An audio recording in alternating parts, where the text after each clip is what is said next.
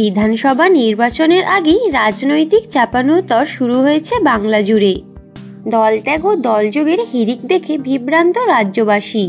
শুক্রবার সকালে সরকারিভাবে তৃণমূলে যোগ দিয়েছেন টলিউড অভিনেতা সৌরভ দাস।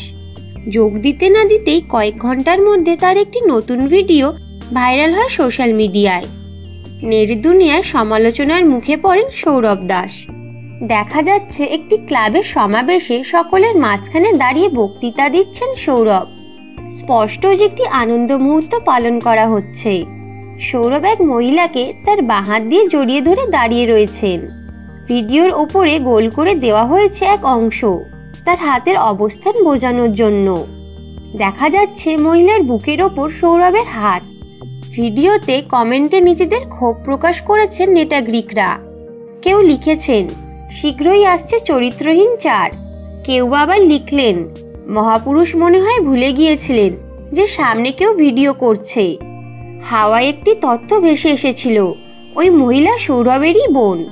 তারপর সেই নিয়েও লেখালেখি চলে নেট দুনিয়া জুড়ে। এই ঘটনার বেশ কয়েক ঘণ্টা বাদে নিজের ইনস্টাগ্রামে আরেকটি ভিডিও পোস্ট করলেন সৌরভ দাস। সপক্ষে যুক্তি দিলেন অভিনেতা। ভিডিওটি ওই একই দিনের। কেবল দৈর্ঘ্য বেশি তাই নয়, অন্য অ্যাঙ্গেল থেকে রেকর্ড করা গোটা ঘটনাটি। ভিডিওটির মাধ্যমে অভিনেতা কার্যকরণ সূত্রটি বোঝাতে চাইলেন আর তাই লিখলেন, ছোট ছবি দেখলে এবার বড়টা দেখো। তারপর বড় একটি পরিচ্ছেদে সেদিনের ঘটনার কথা উল্লেখ করলেন অভিনেতা। জানা গেল, তার সাম্প্রতিকতম জন্মদিন উপলক্ষে সবাই একত্র হয়েছিলেন। সৌরভের অনুরাগীরা তার জন্মদিন পালন করতে এসেছিলেন সেই ক্লাবে। তার বাপাসের ভদ্রলোক সৌরভের বাবা এবং যে মহিলাকে জড়িয়ে ধরে দাঁড়িয়েছিলেন, তিনি সৌরভের নিজের বোন।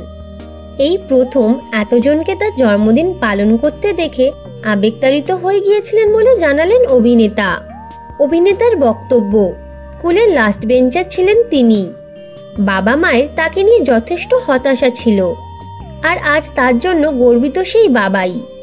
তার চোখের জল মুছিয়ে দিচ্ছিলেন। লিখলেন, বোনটাও কেঁদে ফেলল। ওর চোখের জল মোছাচ্ছি। আর ও আমার কানে কানে বলছে, দাদা, মালদা থেকে লোক এসেছে তোকে জাস্ট উইশ করতে। ভাব সারা রাত শিয়ালদা স্টেশনে ঘুমিয়েছে। পোস্টের তলায় হাট ইমোজি ও হাততালি দিয়ে অভিনেতা গৌরব চট্টোপাধ্যায় ও পরিচালক রাজ চক্রবর্তী ভালোবাসা জানালেন সৌরভকে।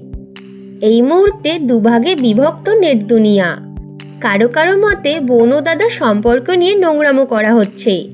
এটার পিছনে রাজনৈতিক কারণ রয়েছে। কেউ আবার বলছেন, বোন হলেও ওইভাবে জড়িয়ে ধরাটাকে ন্যায্যতা দেওয়া যায় না।